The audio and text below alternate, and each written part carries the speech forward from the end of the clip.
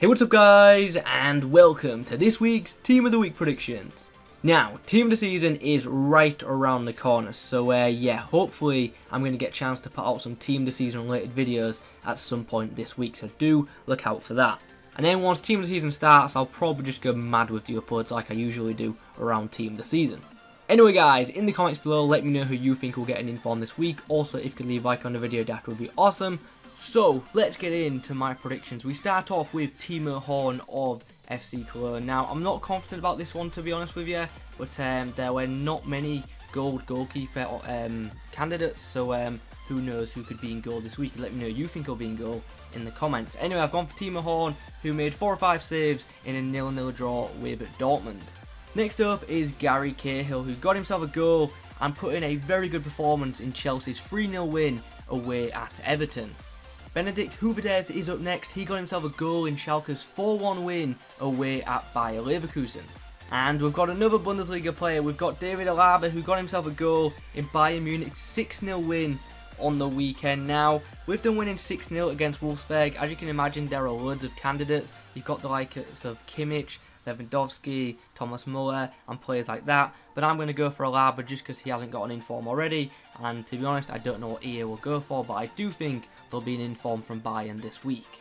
Moving on to the midfielders, we start off with Saul of Atletico. Now, he got himself a goal and an assist in a 5-0 win for Atletico Madrid. In that game, Gameiro scored twice, but um, I just think EA might go for Saul instead.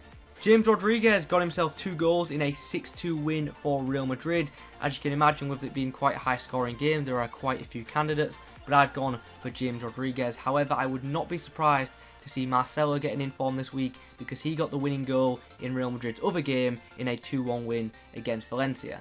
Ricardo Pereira is up next. Now, if this card happens, it would be the perfect right mid for the 3-5-2 formation. That's if it did happen. Now, Ricardo Pereira got himself a goal and an assist in Nice's 3-1 win against PSG, and that win has, uh, has put Monaco in the driving seat to win League One this year.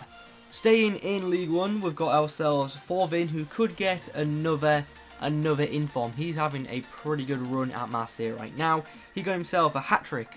Yeah, another hat trick. He got three goals and an assist in a 5-1 win for Marseille. In that game, um, a silver guy called Lopez also got two goals, so he could also get an inform, or he might get one instead. Raul Garcia is next. He got himself two goals in a 3-0 win against Celta Vigo. Samuel Eto'o could get an inform this week. He got a hat-trick in a 5-2 win against Adanaspor. The final player in my starting 11 this week is Bas Dost, and you can probably guess what he did. Of course, he got another hat-trick, this time in a 3-2 win against Braga. He is absolutely on fire for Sporting in the Portuguese league right now. What a season he's having. He's definitely getting a team of the season card, and the way he's heading, it could potentially have 99 shooting, which will be insane. Anyway guys, that is my prediction for the starting 11. Let's get on to the bench and reserves. So, onto the bench we go. We're starting off with Jakupovic of Hull City. Now, EA have been ignoring Hull City players recently, so I'm not confident about this one happening, but hopefully it does. Jakupovic saved a 90th minute penalty to um, save Hull a point in their 0-0 draw with Southampton, and that point could be vital in Hull City's fight to stay in the Premier League. Dusan Basta got himself a goal in Lazio's 3-1 win against Roma. In that game, Keita scored twice, but he was in form last week, so he won't get an inform this week, so I've gone for this Basta card. David Junca got himself two assists in a 2-0 win for his team. So now we come on to Victor Wanyama. Now there's bound to be an inform from the North London Derby game, which I'm not going to go into details about for obvious reasons. But um, as you know, Tottenham won 2-0. Dele Alli and Harry Kane both got the goals, but they've got so many cards already. I just don't see them getting another inform for just one single goal. Um, Jan Vertonghen got man of the match, but he's going to be in the team this season most consistent gold side. So Victor Wanyama put in a good performance, so we could see an inform Wanyama in this week's team of the week. Let me know your thoughts on that theory in the comment below. Next up is Leigh Griffiths of Celtic. He got himself a goal and an assist in Celtic's 5-1 win against Rangers. Mattia Destro got himself two goals and man of the match in a 4-0 win against Udinese.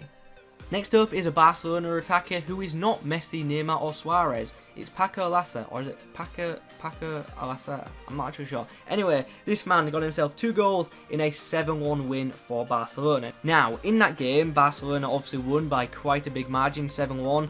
Andre Gomes scored twice, Messi got two goals as well, Rakitic got two assists, and Mascherano got his first Barcelona goal and also got an assist. So there are multiple candidates from Barcelona, but I am going for this man. Although I've got a sneaky feeling EA might go for Mascherano instead. Nico Schulz got himself a goal and an assist in a 2-1 win for his side.